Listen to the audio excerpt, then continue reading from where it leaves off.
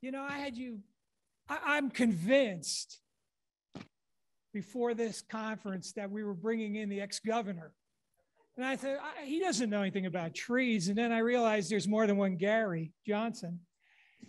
Gary's been on the facility of the University of Minnesota's uh, Department of Forest Services since 1992. That's a long time. He's currently professor emeritus. I had to look that up. It means remaining active while retired. His research is focused on tree health management, impacts on planting practices, and tree production on long term health and tree failures during wind loading events. Prior to the University of Minnesota, he was at the University of New Hampshire on the faculty and also at the University of Maryland. He spent 10 years as a seasonal nursery worker, hard work, and more than 20 years as a practicing and consulting arborist. Would you please help me introduce Professor Gary Johnson?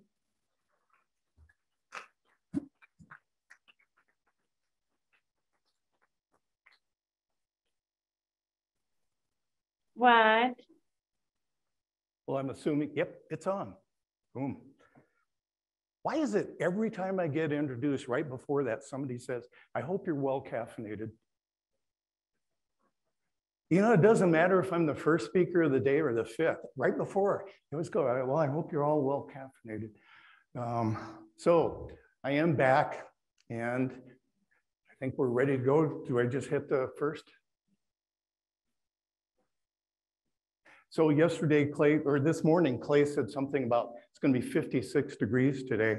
And I flippantly said, oh, that's like a day in June in Minnesota, which is really a gross exaggeration. It's like a day in May, but it's still really, really nice to, uh, to be here and, and, to thaw out for a, few, for a couple days anyway. So as we go through um, our little talk this morning, a, a couple things I want you to, to try to keep in mind. Uh, one is Research is like putting together a jigsaw puzzle. We all work on one little piece of it. There have been very, very, very, very few research studies historically that at the end, they go, oh, problem solved. Covered everything. So everything we talk about today that I'm going to give you, I'm going to make very, very sure that I, I talk about things that have exper, you know, evidence from different experiments, evidence from different studies. Notice I didn't say facts. Uh, along, I'm really old person, which, uh, you know, that's the good news. Uh, uh the bad news, I'm gonna be up here for 60 minutes, but being really old, I had a lot of coffee this morning. So there's a real good chance you're all gonna have a chance to uh, stretch your legs about every 10 minutes. But the, the thing about facts, I, I was always taught that nothing is factual until it's proven wrong. You prove something wrong, you go, okay, that's a fact, that's wrong. When, when, you, when you come up with evidence that seems to be right, doesn't mean it's a fact yet. If it keeps getting repeated and repeated and repeated, and everybody's like, boy, you know, we this thing's been tested 20 times and we come out with the same results every day. Maybe you're getting closer to a fact or at least a semi-truth of some sort. So as we go through today, don't, don't be thinking that everything that we that, that I talked about up here is absolute facts. It's just stuff we're finding out, little pieces of that jigsaw puzzle. And the, jig, the whole puzzle is how do we keep trees healthier? More importantly, how do we improve canopy? That, that's my goal today as we go through. So um, I've been involved in, in a lot of planting programs, and quite honestly, I do look at them as sticks in the ground. Uh, people get really excited. There, there are some programs, initiatives across the country, you know, a million trees in, in a year, a million trees in 10 years. Um, kind of what I hear is like, all right, maybe best case scenario, you may have 400,000 of them actually surviving for a while. And maybe at the end of the story, when it gets up to, are they really producing canopy? Know, maybe 200,000 of them actually did that. Um, so not that I'm against planting programs, it does get excited, people excited, but Um, I'm really looking for canopy, and that's what we're going to talk about today. So we're going to look at it in three in three stages. One is the newly planted trees. So basically, the first five years. What what are the things that you know enable them to survive or not survive? And then we're going to go into the establishment years, those years from you know, roughly year five up to maybe year 30 or year 40, something like that. And then the last part is going to be what I call the assisted living years. And that's our mature trees. What kind of things can we do to, to help ensure that they last a little bit longer? So Lara Roman came out with this study and published it in 2014. She does a really good job of collecting a lot of data too. And one of the things that she found was this is nationally that six, less than 60% of planted trees are alive five years later. You know, quite honestly, I think that's my gut feeling is that's a little generous. Um, I would I would say it's probably pretty close, and she's a really good researcher too. Here's what we're going to look at today: these challenges. And by the way, I you know uh, Think Trees New Mexico can have both PowerPoints I'm given today, so they can post them as, you know, you don't have to take notes. I guess that's the bottom line. And these are some of the things we're gonna look at. As you look at these things, you're probably thinking, oh, he left out, he left out, he left. Yeah, there's a lot more things involved in this, but we only have 60 minutes. So we're gonna kind of go through those, those points and how does size matter, or does size even matter? And you'll, you'll hear some smack about, well, one of the problems planting really, really small trees is a real, real high um, mortality rate. Yeah, it could be in certain areas too. Um, and then with the big trees, you know, Gary Watson uh, did this research years ago that for each inch of caliper, you have one year of transplant shock. We're not talking about transplant shock. We're talking about life and death. So does size matter? Well, sometimes it does. There's not been a lot of research on that, but what we have found that if you say size and species, mix them together, yeah, it does matter. Uh, and if you've tried growing small or, you know, calipered oaks, especially bare, actually even containerized, uh, many of the oaks, many of the hickories, um, yeah, the larger you transplant, the greater the mortality rate. It's just a fact of life. So if you mix that in there, yes, there is some truth to that. Uh, if you mix in size and harvest type matter. So if, if, if you all don't have ANSI Z60.1 on your smartphones, you should. That's your protection when you buy nursery stock, that it meets the minimum standards. So if you have a, a particular size and it doesn't meet the minimum standards, especially for root size, yeah, size does matter. And then finally, if you did or if you did a really poor job of site preparation, or you just didn't do any site preparation, yeah, the bigger the tree is, the more it's going to struggle, more difficult it's going to be. So we did um, a couple studies on this, and these, these actually turned out really well. This is typical for trying to get bur oaks, calipered bur oaks, trying to get them established, at least in the upper Midwest. We got this nice little skirt of green, the rest of the tree is dead. Uh, this is very, very common. So one of the things that we did, this was for the city of St. Paul, and city of St. Paul has a lot of remnant uh, bur, bur oak primarily forest, and they turned them into parks. So they had real high mortality rates of the, of the older trees in there, and they've been trying to establish new and younger trees, and they end up looking like this. They look like garbage, and eventually they get removed. So one of the things that we did with these is we put them in tree shelters and tree shelters, tree tubes, whatever you want to call them. Um, it's worked out really, really well. And we plant them in mass. So we'll mulch a big area and we'll plant in mass, you know, three, four, five feet on center, put them in the tree shelters, phenomenal results. 100% survival rate. And this is quite a few trees, there's well over 100 trees in this one park. Um, and some of these grew as fast as they were seven feet tall at the end of the third growing season, which is phenomenal for the upper Midwest. Especially, we started them as 18 to 24 inch liners, seven feet tall after three years. So there are some things that you can do. But we did find some, um, that there, there was some other differences with species. And I, and I realize this is a little difficult to see, but if you look at the very top, these are called adjusted probability of mortality. So what we looked at is all these, trees, by the way, this particular study that I'm referencing now, we had about six and a half thousand trees in it. Of those six and a half, this uh, about four and a half thousand uh, of those trees gave us enough um, uh, replicates. So the species you're looking on here um, had a minimum of 150 replicates in this particular study. And if you look at it, so we adjusted it for the size, whether they were bare root, balled and burlap, containerized, and these are the adjusted mortality rates. And if you look at Catalpa, shoot, you had to be quick on that one, uh, it's 2.03.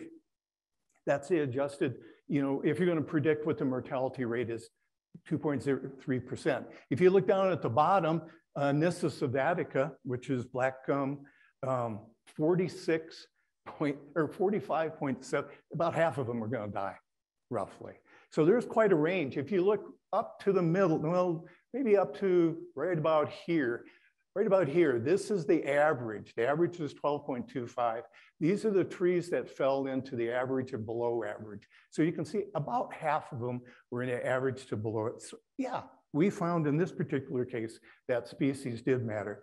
Other studies, and this is a really, really good study too, they found absolutely no difference. Species had no effect at all. And if you think about it, different parts of the country, different times of the year when things are planted, et cetera. If, if we have a couple years of drought, all these things can affect it. This particular study had 749 trees. We had four and a half thousand uh, in that particular uh, species study. So maybe, maybe that's what really was the, the deciding factor on that. It, they just didn't have quite as many trees as we had. Maybe that was it. The thing is you find different results in different areas. This is that little forest that we planted, um, several of these. And if you look at that bur oak popping out of that four foot tube, that's the second year. So it's over four feet tall, starting from an 18 to 24 inch. It works, it works. And if you're wondering, it's like, boy, those trees are awfully close. Um, there's a couple things you can think of. Have you ever been through a forest? You'll see trees two feet apart in a forest, or as this community is doing, as they mature and get looking better, they're picking out the best ones. In each one of these planting islands, they're thinning them down to two trees. The thing is, 100% survival rate. Well, how about harvest type? And when we talk about harvest type, we're talking about, you know, uh, were they harvested and sold and planted as bare root in the springtime? uh, bare root from a gravel bed, so you can plant them in the autumn, uh, containerized or balled and burlap. So bare rooted in the spring, in the upper Midwest, this is our most dangerous planting. This is where we're gonna have the highest mortality rates because we never know what summer's gonna be. We can have a summer where it's cool and wet and just wonderful for trees. Just as likely it's gonna be bone dry and hot and windy. So springtime planting, and especially with bare root, that's, it's a very, very iffy thing in the upper Midwest. Uh, heeling those trees in instead of planting them, but heeling them in in pea stone, we call them gravel bed trees. Uh, this allows you to wait until the end of the summer. Uh, and in Minnesota, I planted out of our gravel beds as late as the first week of December. So you can plant well into the autumn, late in the autumn. Uh, in the meantime, while they're in the gravel bed, this is kind of what happens to the root systems. They explode with the finer root systems. Um, I don't really know if that explosion of finer roots is that much more advantageous.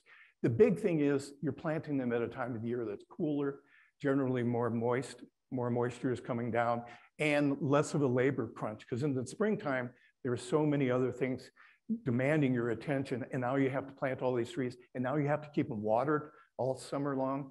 That's the advantage of it. Containerized trees, the smooth plastic containers, that's been the nursery standard for a long time. But you can also have to the right, you can have the air root pruning containers. Sometimes they're called architectural containers.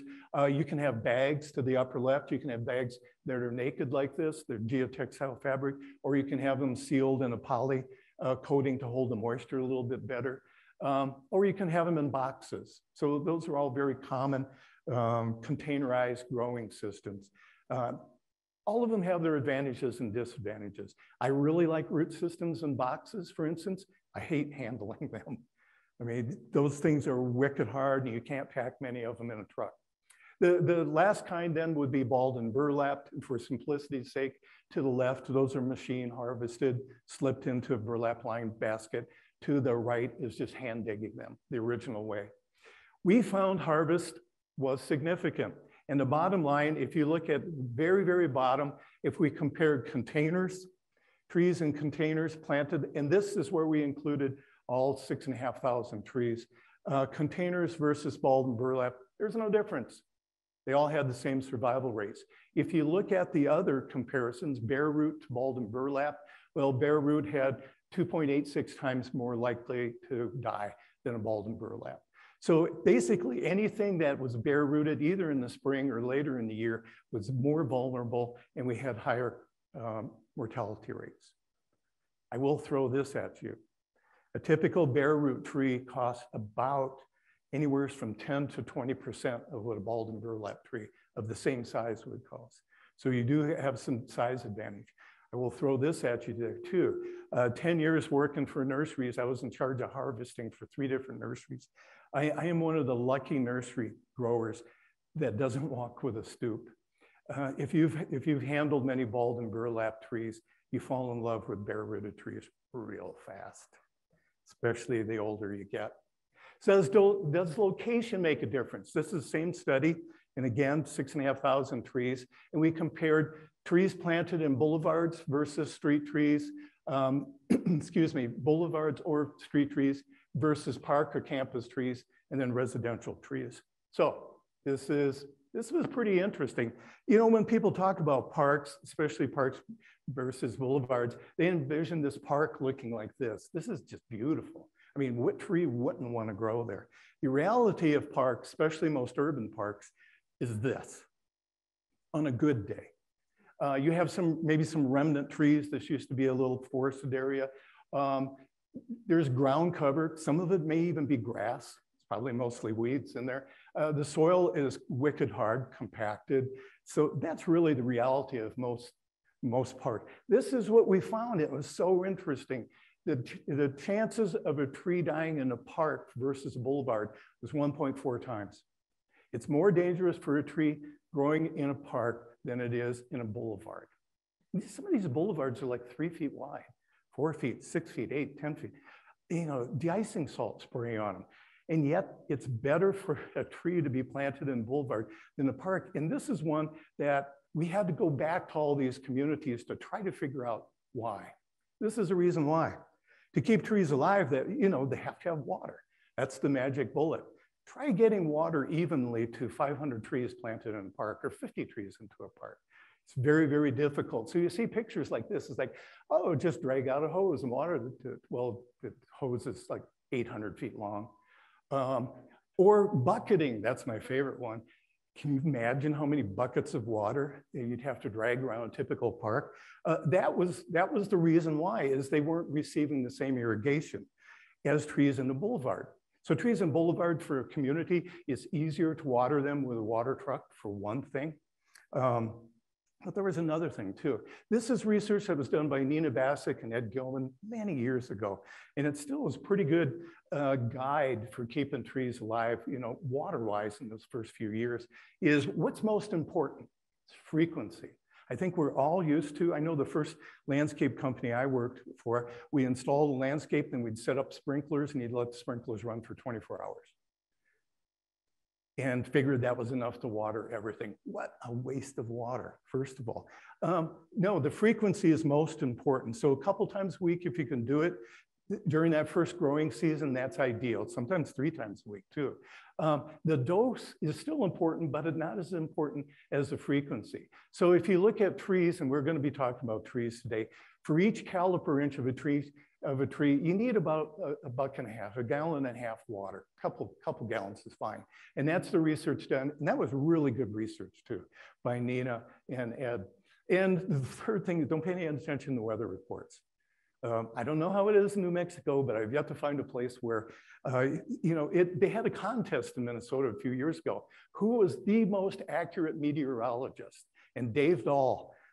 from Channel 5 was. He was right 51% of the time, which means you could flip a coin each day and you'd be just as good as, as Dave Dahl. But there's another reason for why the boulevard trees seem to be doing better too. Uh, a lot of the communities promoted, if a tree is planted in front of your house, is there any way you would adopt it? You know, for that first growing season, take, you know, two times a week, take a five gallon bucket of water out and dump it on it. And it was very, very successful. My son is part of this uh, group here, Brewing a Better, my son really likes beer. Uh, he's part of uh, Brewing a Better Forest. And what they did, they took it one step further. They said, if you sign up, we'll put you on this little interactive map. If you sign up to say that you're going to water this tree for the first, uh, first growing season, we'll give you beer. Hugely successful. Keep in mind, Minnesota is right alongside of Wisconsin. Hugely successful, right? if you offer beer, you make a lot of friends. And that was it. That's why the boulevard trees, despite the fact that they were in lousy sites, did better is they had more uh, community watering action than the parks did. This is really difficult. How about nursery stock? Well, you know, if you look at the research, there's unfortunately, there's been no research that says, oh, this type of nursery stock is, is better. I mean, consistently right across the board. We found evidence, you know, in our study, but that's one study, and I never found any other study.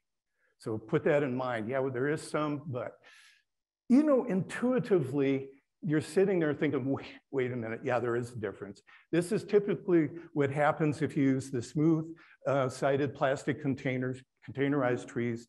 You leave them in there too long. You don't correct that encircling root system when they're planted. And you come back three, four, these two trees have been in ground five years. This is in Rochester, Minnesota. And they, they started declining about third year. By year five, they're completely dead. That's why they're in the autopsy uh, area here. And you can see what happened is the root system never broke out of that encircling habit, never mined through the rest of the landscape soil for moisture and died an early death. So this type of, we did quite a bit of research and we published on this a few years ago, is one of the things that we found is when you're looking at a, a, containerized root system, you're going to see lots of encircling roots in there. If they're the real fine ones, ones you can flick off with your fingernail or something, no big deal. No big deal. If they have the diameter of about a pencil, thickness of a pencil, seven millimeters, big deal. Because they're woody and they've developed a memory and they're going to stay growing in that pattern. And that's what happens with trees like this. You see the, you know, you may have gotten in the habit of thinking, well, I know lots of plants that I saw that were pot bound and they did it just, made it just fine. Yeah, but were the roots woody like this? So that's, that's what we found to be the, the litmus test on that.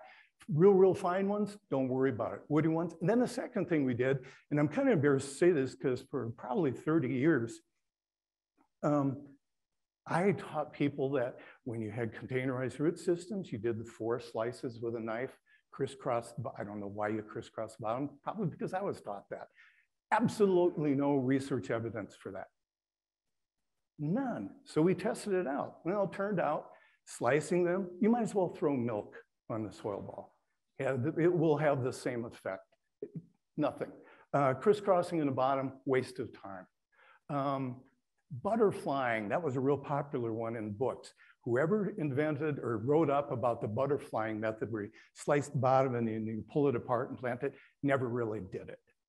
Um, because you would have to have shoulders like an oxen to, to pull those things apart get them in the ground. The one thing that did work was uh, a technique that we're going to look at a little bit. Um, it's called uh, boxing. Ed Gilman also uses it. He calls it slicing and it actually works. And we'll look at that in a few minutes. The next thing, this one, now don't, don't shoot the messenger on this one. So we looked at who planted these trees.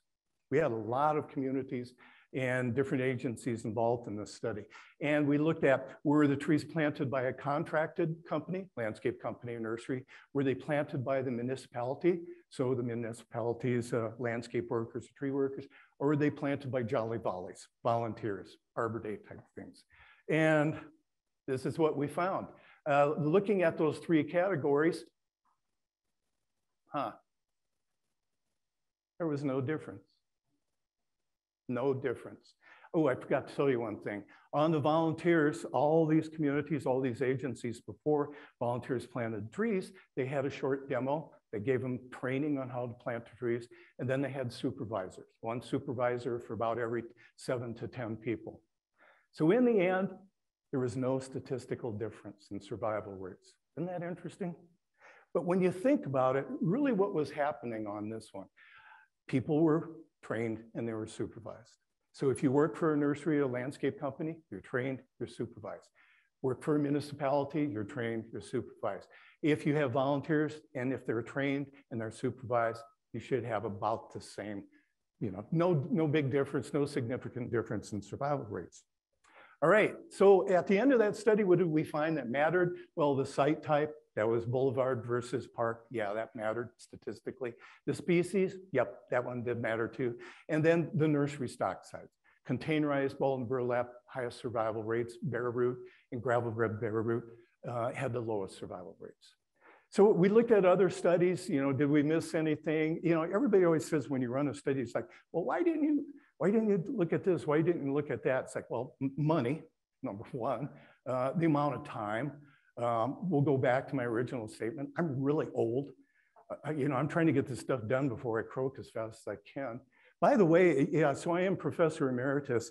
However, my, my predecessor, one week um, before this semester started, quit. So I'm contracted back at the university to teach. So I'm, I don't really know what to call me anymore. Semi-emeritus or formerly known as emeritus. I kind of like that one. Um, these are from other studies. If you look at the replicates, uh, not huge replicates on it, but they're still good studies. Uh, property ownership, that had a positive impact. So if the people owned property that the trees were planted in front or in, in, their green easement, yes, they had a higher survival rate.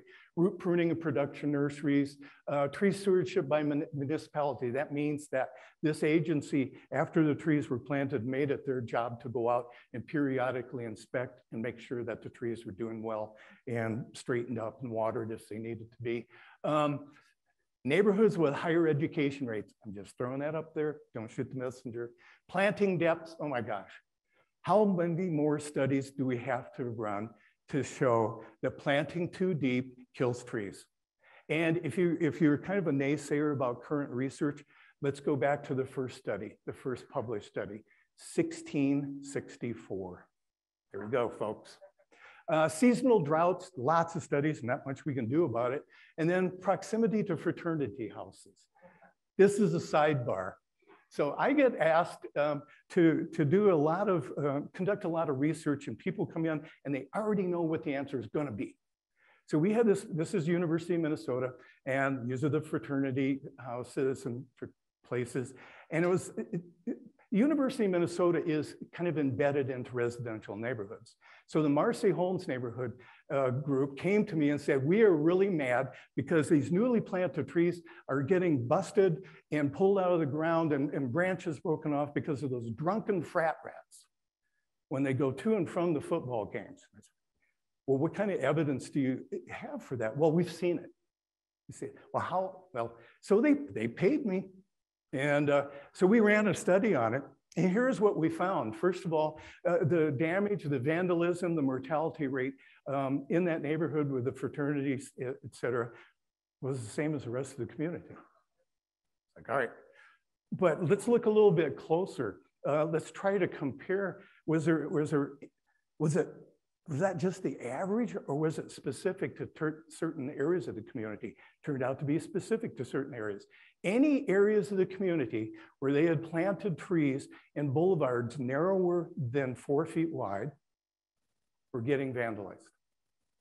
Think about it. You're walking down sidewalk, there's a newly planted tree and it just slaps you in the face. What are you gonna do? You're gonna say, oh, bless you, tree. I know someday you're gonna be big and not slap me. No, they break the branches off or they get mad and they break the whole tree, or they yank it out of the ground. So it wasn't the fraternity boys doing this. It was the fact that these trees were planted in skinny boulevards within two feet of the sidewalk. That was the highest vandalism rate.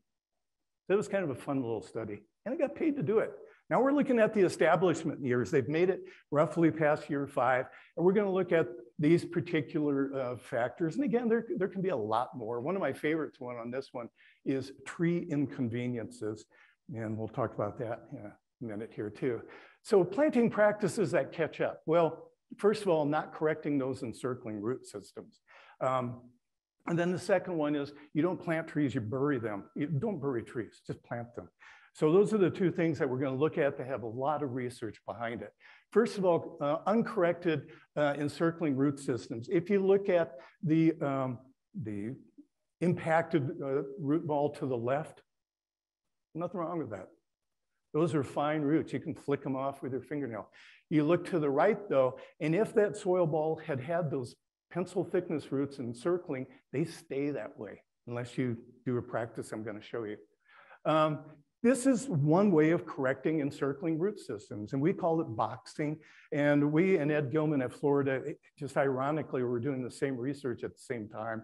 The only difference is we, we do this above ground before the trees are planted. And if you've ever been into like a Greek restaurant or you have a gyro sandwich, that's basically how we treat these soil balls. They're just a chunk of gyro meat, and we slice off one inch all the way around. If they have woody encircling roots, at least the thickness of a pencil going around. If they don't, we don't do anything to them. And we had the same success. So then we take them out in the field and we plant them. Since we did this study, uh, we've had a lot of pushbacks like, well, when did you do this study? Well, we did it in the autumn. Well, if you had done it in the spring, okay, we set it up again. We did it in the spring, same results. Well, yeah, you did it in the autumn and spring, but how about if you did it in the summer? set it up, we did it in the summer. So to date, we've had over 2,000 trees in these studies. And, and then somebody also said, well, how about the, oh wait, not winter. This is Minnesota. Okay, we'll buy this. Our, after over 2,000 trees, after those three studies, our mortality rate has been zero. We have yet to lose a tree and a wide variety of species too. Um, this is what happens. I did this just for demonstration. Same tree that you're looking here. Uh, I boxed it and then I heeled it in and wood, wood chip mulch. This is eight weeks later. And what I want you to notice, uh, this is a birch, and we all know birches grow roots like crazy. But I want you to look at where they're growing. They're growing out.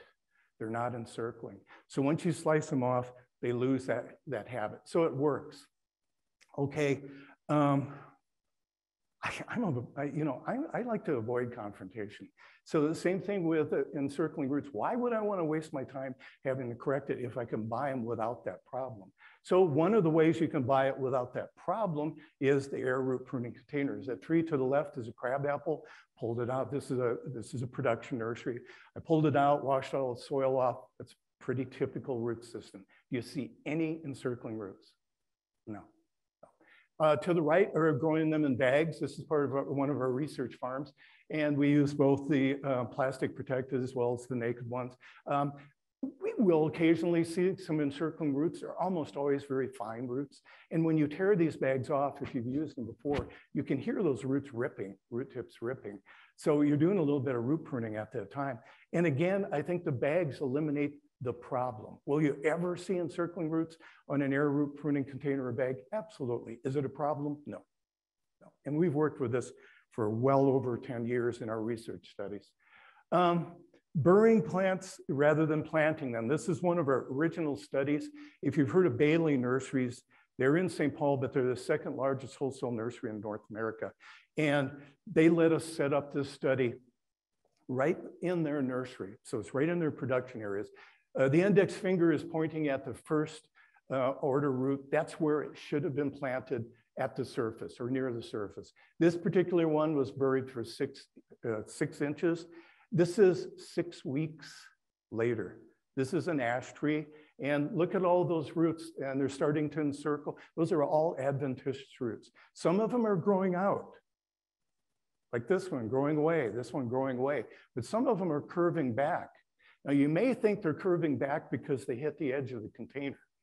This is the edge of the container over in here. They're curving back because there's a sweet spot. And that sweet spot is that area between the trunk stem and the soil. Good oxygen, good moisture, roots are growing there. So this is how fast it can happen. Same thing if you use um, lindens, little leaf lindens, they're just as bad too. Don't do that. If you do that, this is what happens. This is 10 years later.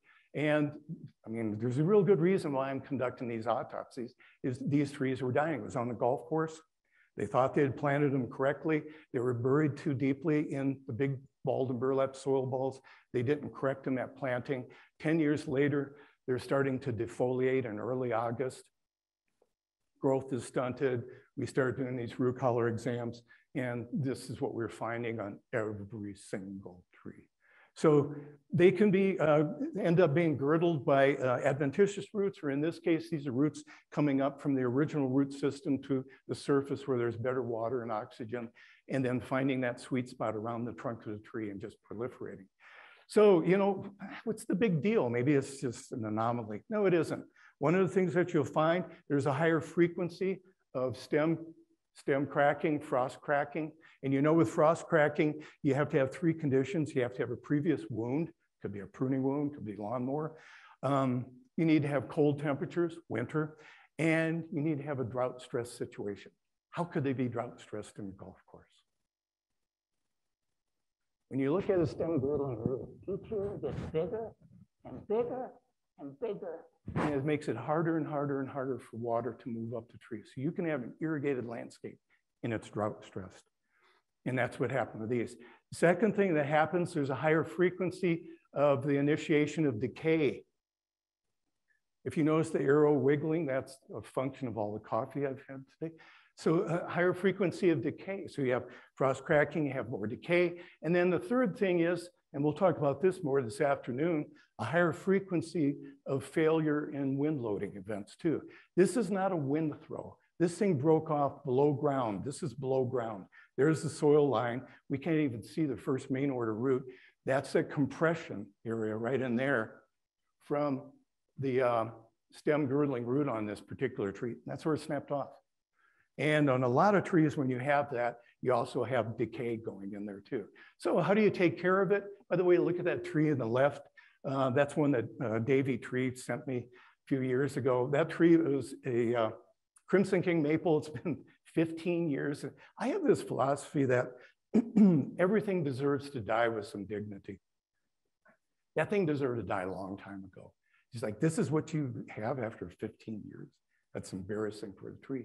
Yeah, you just take a saw and you saw off that X. Eh, there's a couple things you can do. If you look at the soil ball here, you can see lots of roots and you see nothing up here. I call that the dead zone. So a real quick examination, you can see a dead zone and you can say, all right, I know there's at least that much.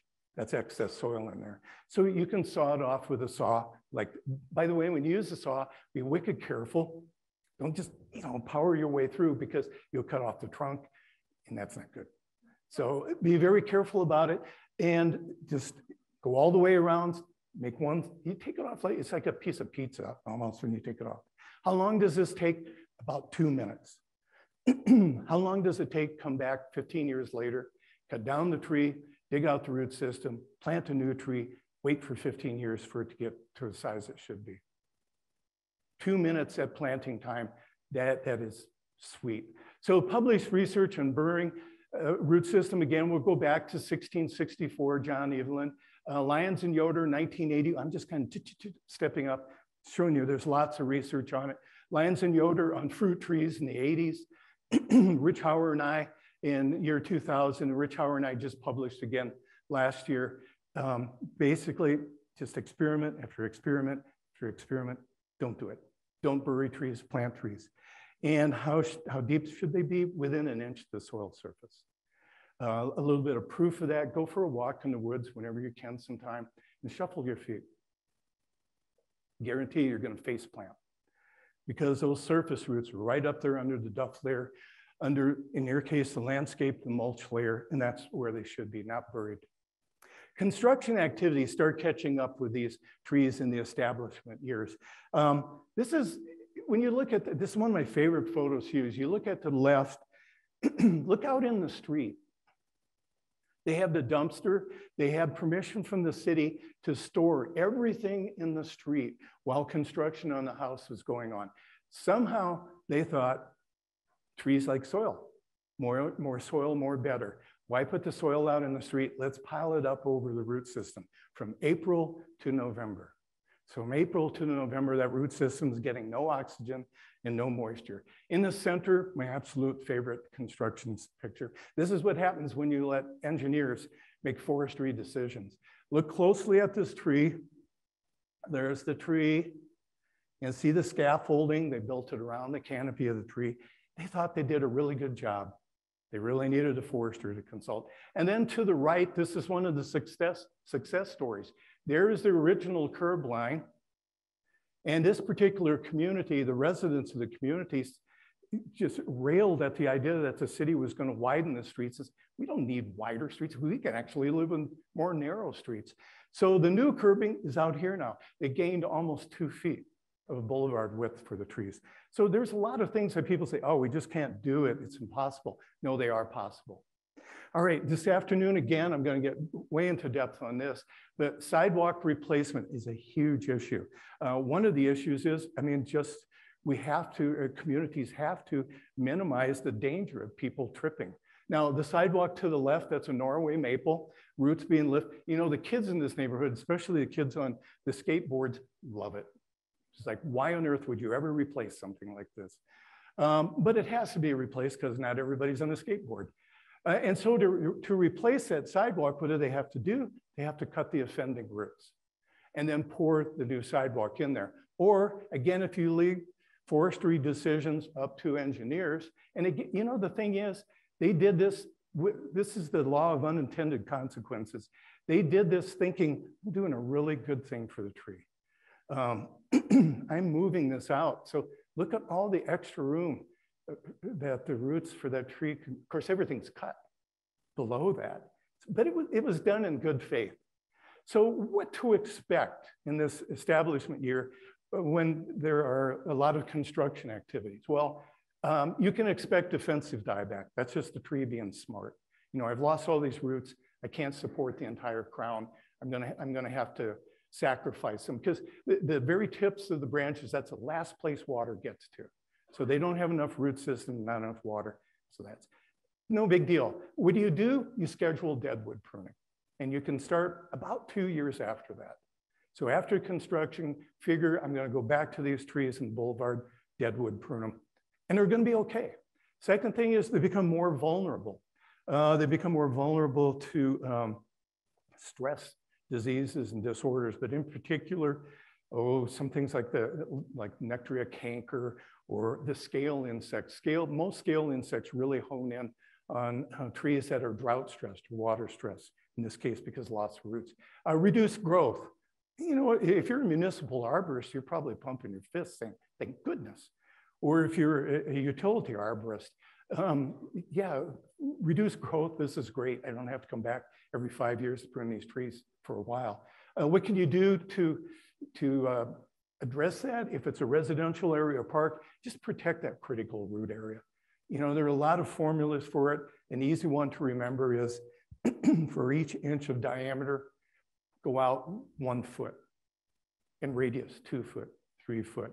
So a 10 inch diameter would have a radius of 10 feet, diameter 12 feet. If you can protect those roots, keep them mulched, keep them watered, you're really gonna minimize the damage. And then for, for the last one, the decay potential. You know, if decay really moves in on these trees that, you know, are between that five and 30 year old, and don't, don't feel like you have to save everything. If they're becoming fraught with decay at that point, have time work for you instead of against you. Consider removing them and replanting. And a lot of times that is the best thing you can do. Or you can work with the contractors. And this is a really good example of working with the contractors. Instead of using these huge, normally what you're gonna see is this excavated area over in here can be as great as two feet so they can get in there, put the forms. But if they use slip forms, that's the extent of the excavation. And then if they hand pour it, it's even smaller. This is technology. These are, these are techniques that have been around for years and years and years. Request it. It's a really good way, especially if those trees are critical. If they can't, look at the size of that tree. Get rid of it, plant a new one. Okay, another little bit of controversy, 15 minutes, okay? Landscape management practices. And I think most of these you're gonna say, oh yeah, I see this all the time. Uh, lawns, lawnmower, string trimmers, then we'll look at non-target chemical drift, and then weed-free turf versus healthy trees. Uh, this I call spousal abuse. Every time I've gone to, especially when I was with the university, people call it, say, can you come out? I want you to look at this tree to see if it's okay. And it's like, oh, it's close to campus. I'll go look at it. And I go out and it's like, wow, the, this thing really got hit bad by you know, a lawnmower. And, and it's always like, oh yeah, my spouse did that. You know, that's really interesting because I talked to your spouse a few minutes ago, and that person said their spouse, one of you is lying, or both of you are lying, etc. Well, we only did it once. No, you did, you did it more than once. This is now you have decay starting in here. So this is fairly common, whether it's a lawnmower or whether it's a string trimmer. Um, Non-target chemical drift. Uh, um, Bruce, are you here today? Thank you, Bruce, for this photo. Um, dicamba is a very common lawn chemical, uh, broadleaf weed control. This is what it can do when it goes to plants that you don't want it to kill. Didn't necessarily kill the plant. You try selling those trees if you're a grower. You know, if you tell people, oh, don't worry about it, you, next year they're going to be just beautiful.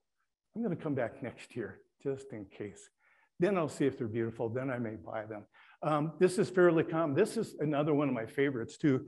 Um, why, you know, why did you spray glyphosate, you know, when it was so windy? Oh, we never sprayed glyphosate. Yes, you did. Well, it's either that or paraquat, one of the two. No, we never used those two. Yes, you did. Yes, you did. This is in a park. And if you look closely at this tree, and then this one, and then this one, and then this one, it was sprayed when it's too windy. Okay. They kept denying it. And I, I said, You've never used Roundup? Oh, well, yeah, we use Roundup. Okay. Why were you spraying the trees with Roundup? Well, they had poison ivy growing on them. And we didn't want to have to handle it. So they were trying to kill the poison ivy. Law of unintended consequences. So the lawn chemicals versus healthy trees, broadleaf herbicides, non-selective herbicides, pre-emergent herbicides, Preen is one of, I have a real problem with preen. Fungicides and insecticides, these are the ones that they do. Um, damage to, to the landscape, because what they do is our landscape trees, our trees are dependent upon mycorrhizal root associations.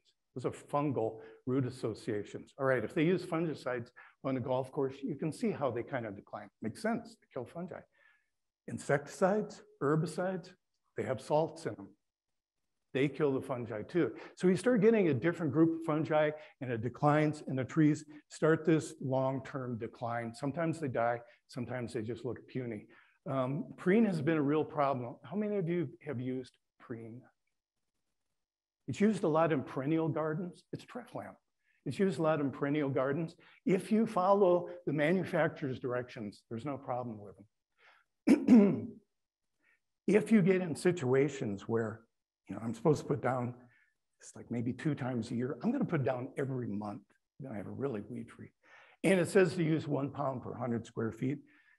I'm to use two pounds per 100. Here's what happens, and it takes a lot of digging to find this out. Preen or Treflan inhibits fine root production on woody plants.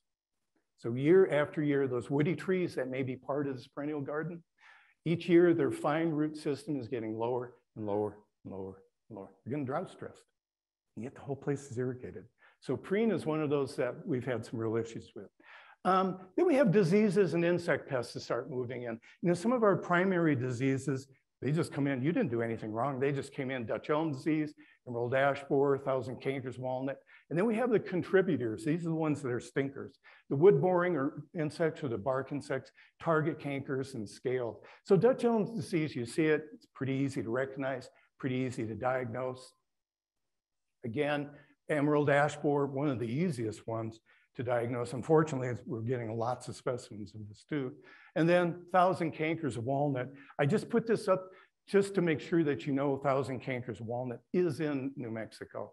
It's hammering walnuts in Colorado, but it, it is here. And it's, again, it's another one of those things that it's getting, it's attacking the trees and killing them because they're walnuts. See, very selective about that. So what can be done? Dutch elm disease, emerald ash borer. You can use a preventative um, injections of, of uh, fungicides or insecticides, and you can keep the trees alive for a long time. Thousand cankers of walnut, that's a little bit different. Um, the, the only thing that may help is just keeping them from being too, too stressed. Uh, keep them well watered and mulched, and that's about it. Target cankers. Now, these are fungal cankers that hit stressed trees, and they really hit like ash and maple in particular. So why doesn't every ash and maple have a target canker? from it. They have to be stressed and they have to be wounded. So stress is primarily drought, water stress, wounding, string trimmers, pruners, lawnmowers, any opening and that fungus can get in there. Scale insects, we see scale insects all the time. When do they actually kill a tree? Um, when something like elm scale or, or, some of the oak scales too, when those trees are already vulnerable, they're already drought stressed or they've had a bunch of roots cut from construction, that's when scale insects can just go turkey berserky on them and just finish them off. And people look at it and say, oh, the scale insects kill the trees. No, what killed the trees or shortened their lives was they lost their roots during construction or it got very, very droughty. So what can you do about that? All these contributors, the scale insects, the target cankers, you know, mulch the root zone just as much as your client will stand it. Um, that's going to help a lot. That's going to reduce uh, evaporation of soil water by about 30%. It's good research-based information. Uh, watering during dry periods if you can, and, and minimize wounding, especially the lawnmower string trimmers, and then critter damage too. Um, buck raking, rabbit feeding, et cetera. Tree inconveniences. I call this a political collateral damage. And for instance, I've used sweet gum. We could also use ginkgos. If you've planted these before and when the fruit starts falling, you start getting calls. And you go, hey, you know, it's a really good tree for the area. And then they go, okay, you're not satisfying me. I'm going to call the mayor. Or I'm going to call a city council. And all of a sudden, you have to remove every single sweet gum, every single ginkgo. Um, even though they're really good trees for the site, it doesn't make any difference. Cottonwoods, oh my gosh, people just have heart attacks. When the female cottonwood sheds all the, by the way, have you ever seen a cottonwood seed? They're like, oh, maybe an eighth of an inch. They're teeny. And then you look at the size of the trees. It's just a magical type of thing. Yeah, there's, you know, get a leaf blower or vacuum out there or something. Don't cut down the trees. So what can you do? Just don't answer the phone. That's, that's about all I can I tell you to do. Um, delayed pruning and wind loading events. These are for the trees that are notoriously poorly built. And I hate to say this because we've done so much research on American elm varieties that are Dutch elm disease resistant. They're the worst of the bunch. So our native elms, um, if you don't prune them, every single year for the first 15 years, you're going to have train wrecks. You're going to have train wrecks starting right about the time they're, oh, maybe seven inch DBH. And you have wind loading events or ice loading events or snow loading events, and they start falling apart. The other group that is especially vulnerable are the Freeman maples. Um, the autumn blazes, Sienna glens, et cetera. Uh, they too are very poorly built. So you need to get in there and prune, prune, prune those first 15 years. Uh, hackberries, coffee trees, uh, they're bad, not nearly as bad though. So for those, I recommend pruning every two to three years for the first 15 years. Both of those trees have a bad habit.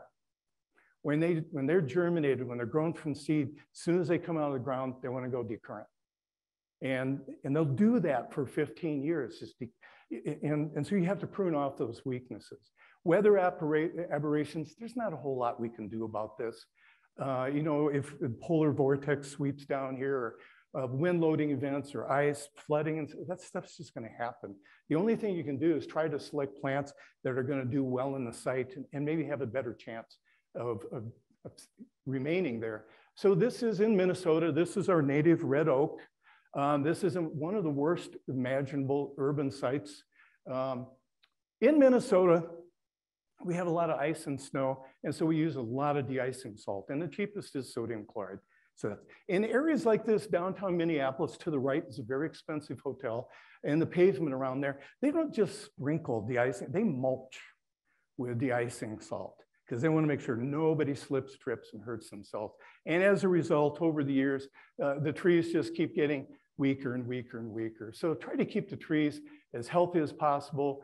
Um, minimize pushing cold hardening in the zones. I don't know if that's a problem here, but in the upper Midwest, people, I think that one thing in the upper Midwest that we could do that would really help is ban the magazine Southern Living.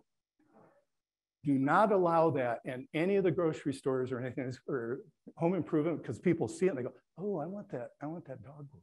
It's like, no, it's, it's not going to make it here too. Um, and now we're to the very last quick part. How many more minutes? Five. Oh, this is working out perfectly. Uh, the assisted living years. And now the trees have gotten up. They're past that establishment phase, so they're, you know, years 35 plus. Um, what can we do to, to keep them there for a long time? Um, in its native regions, a bur oak has about a 250 to 450 year lifespan. That's normal. Silver maple, about 125 years. Um, do you grow box elders in New Mexico? How long does a box elder live? No one knows. They live forever. They just keep sprouting and sprouting, et cetera. Um, so when you get down to the, the weakest of them, there's some of the birches. They'll, they have a lifespan of about 65 years. When I hear people saying, oh, we got 30 years out of this tree, that's really, that's embarrassing. Um, this is my truck, this is a bumper sticker. I'd like to have a nickel for every time somebody has come up and they look at it, they go, oh, I really like that bumper. You know, I never thought about that. It's like, seriously, you never thought that it takes 100 years to get a 100 year old tree. Hmm. So, what are the challenges to maturity? Uh, hair loss is a big one. I didn't put this up here. Uh, continued threats from construction activities, deadwood, and risk management, loading events, and then this general decline in energy reserves. This poor cottonwood every morning wakes up and goes, I know this is the day they're going to get rid of me. I've damaged this curb way too much. Uh, this is like, oh, it's a silver maple. Silver maples can take anything. No, they can't. They can't take 12 feet of soil piled over the root system for months. Um, deadwood and risk management, this, this is something you have to watch all the time. Hackberries are kind of vulnerable to Ganoderma uh, decay, especially if their buttress roots have been cut during construction. And if we start having this defensive dieback, you have to put this on schedule to make sure you go through and remove those, those risk factors. And then loading events. Uh, the poor, poorly built trees are more susceptible to the loading events, except for tornadoes. The only thing that makes it in tornadoes are little trees, but the other normal loading events. And then decline in energy reserves. Uh, the tree to the left, the arborist told the clients, don't worry, this thing is gonna bush out like a petunia plant. Um, there are no energy reserves hardly left in that tree. The tree in the center, a bur oak in decline, hardly any re energy reserves. Tree to the right is a little leaf linden declining in, uh, in a boulevard situation. Uh, when they decline, they get infested by the um, linden borer. Linden borer wounds it, and then we start getting um, white rot in the trunk, and then they're gone. You can't keep them in the landscape anymore. So what to do? Schedule again, pruning, cable is appropriate. Cabling really works. Avoiding drought stress right down to risk assessments. Um, I've put in a lot of cables in my lifetime, and I really like the, the dynamic ones, but I put a lot of static ones in too. I've yet to see a tree, whether I did or other people did it, that was cabled correctly that failed in a windstorm. I've seen these, these trees go down from other parts of the tree, fail in windstorm, and you still see the cables intact, and that union is still protected. So, how'd they do? Right on time. Great. Thank you.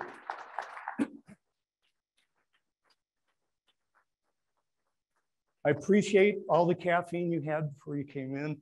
And I didn't hear any foreheads slamming on the tables, which is really good news. Do we have any questions from the audience? You can either come up and use the speakers or raise your hand. And if you're loud enough, we can hear you. Yes, sir. Yes, sir.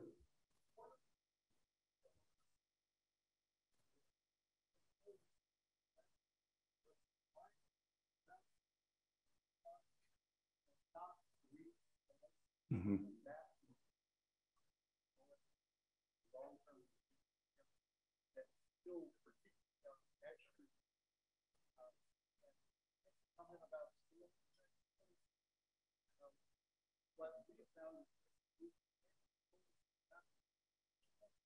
That'll kill the tree. Yeah. When it's getting on the Yep. It's Brian, right? Brian. So Brian pointed out two things, uh, a higher frequency of damage to trees because homeowners are selecting Roundup 365, which if you have not had good success killing your trees with Roundup, go to Roundup 365. Uh, that's the first thing. And there's not a whole lot you can do when you have products that you can buy in home improvement stores or Walgreens or something like that. Yeah. I know who reads, nobody reads labels. You know, that's, if you, if you have a kid in fourth grade, you have your kid read the labels. You don't read the labels. It's like putting together a new computer. Nobody reads. Second problem is when scale insects uh, get really bad on a tree, it's not the scale insects that cause the trees to be removed. It's the sap or the exudates that are falling on the picnic tables. So again, we have another uh, socially unacceptable situation and you got to remove those trees. Not a whole lot you can do. It. Yes, sir, in the back. Oh, I'm going to come back. Remember, I'm old. Watering mature trees. Mm -hmm. Something that comes up a lot when we talk about preservation um, can really be a, a, difficult thing to advise on. Yep. Um, do you have anything you could say on that? Yeah, the question, the question was, uh, when you get in these extreme droughty situations of prolonged chronic droughts, and you have mature trees, what can you do to convince people to water those mature trees? Um, part of it, part of it is just a history of how people think about trees. They think, oh, this tree is an old growth tree. First of all, there's hardly any old growth trees left anymore, especially in urban areas. And it's been through everything. No, it hasn't been through everything. And you really need to understand, this is a living being. And just like you, it needs water. Then the second thing is like, well, do you know how much that's gonna cost me? And they go, actually, I do. And so we, we did a study a few years ago where we looked at newly planted, established, and mature trees. And we looked at mature trees and how much would it cost to go out to the drip line of a mature tree one time a month and irrigate the soil uh, using a sandy loam soil uh, down to um, a depth of 10 inches. How many in here smoke cigarettes? And I'm not judging you. There we go. We have one here. The cost of a pack of cigarettes will pay for that watering for that summer May, June, July, August. And we took the highest, the highest rates for water and sewage in Minnesota, and that's what we came up with. So when you when you can relate it to, although you know, if you want to make friends with a new client, don't ask them if they smoke cigarettes. Just say something like, "Do you know how much a pack of cigarettes costs?" you know, that for that amount of money, you can water your tree. And if you're on a well, you don't have to pay it, but you do have to decide whether or not your well can stand it. But what you need to do in the bottom line is once a month, soak it down to about 10 or 12 inches. And then if you can put a mulch layer on it, remember what I said, that, re that reduces evaporation loss about 30%. So that's all I can say. It's a tough one to get across because it involves the W word, you know, work. They have to get out there and water it. Anything else? That's a really good question, though. Very, very common one. I guess that's it. Oh, we have one more. About like the amount of, the amount of uh, like balance for uh, volume of soil and soil composition? Okay, the question is, is there a variation of amount of water you need depending on the type of soil and the maturity of the tree? Absolutely, yes. The larger the tree, the more leafy biomass, the more water they're going to transpire is going to take more. When you look at soil, if you have a sandy soil, the very first thing I would do after irrigating is quickly mulch it. Otherwise, it's just going to evaporate out of it. Your best soils for holding moisture are your clay soils, clays and silts. And then everything in between, um, as long as you don't have a drainage problem, if you can incorporate organic matter into the soil without damaging the roots, that's going to help. If you think you're going to damage roots by incorporating it, you know, dig it in, rototilling, use it as a surface mulch. You know how mulch breaks down. From the top surface, it looks the same for years. Underneath, where it meets the soil, it's becoming soil. And it's really doing a good job of holding moisture. So that's kind of the range. Um, I use the, I use the uh, sandy loam because that's like our best soil for growing trees in production. Thank you very much. I can feel the hook.